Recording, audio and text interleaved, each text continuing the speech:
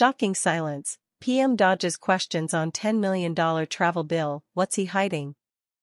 Prime Minister Dr. Keith Rowley says he will not respond to allegations from Dr. Roodal Moonilal that he, Dr. Rowley, spent $400,000 of taxpayers' money on personal business when he went to collect an honorary doctorate from Howard University last year. The Prime Minister was responding to revelations from Oropouche East MP Dr. Roodal Moonilal that he spent $10.6 million of taxpayers' money on international travel over 36 months. When contacted for a response by Guardian Media, the Prime Minister said, I am not prepared to respond to anything Dr. Moonilal has to say about taxpayers' money until he complies with the court order and puts in his defense in the EMBD matter, where millions of taxpayers' dollars are yet to be accounted for. But Dr. Moonilal countered his claim, saying, I am never in contempt of any court proceedings. But if Rowley wishes to use a 10-year-old PNM case to hide behind like a fig leaf, that is his business. We will dig deeper into those trips.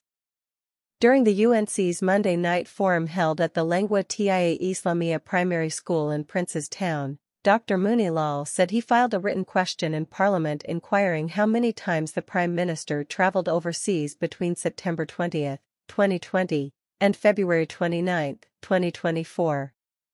He also asked about the cost of each trip, including hotel accommodation, meals, ground transport for the Prime Minister and his entourage, and other related expenses.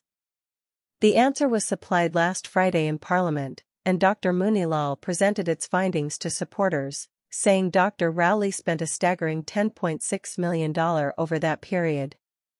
He said the Prime Minister's five-day journey to the United States in January 2024 cost $818,262.97.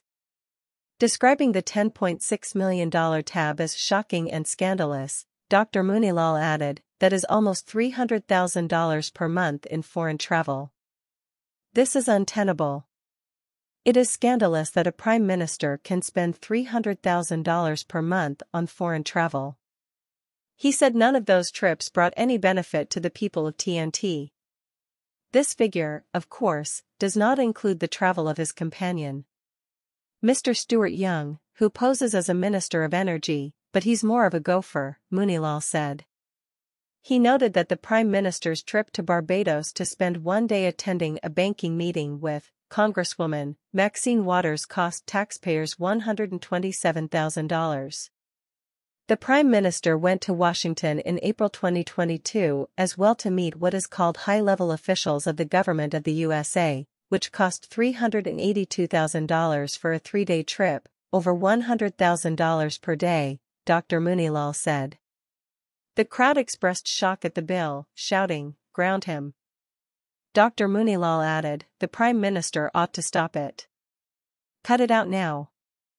I think we should clip his wings, ground him, seize his frequent flyer cards to ensure that he remains on the ground and face the problems that Trinidadians and Tobagonians face daily, which are crime, insecurity, poverty, and joblessness. He said while police officers did not have toilet paper in the stations and the hospitals did not have medicine, the Prime Minister was traveling incessantly using taxpayers' money. PM Rowley must prioritize transparency and accountability, particularly when it comes to the utilization of TNT's taxpayers' money.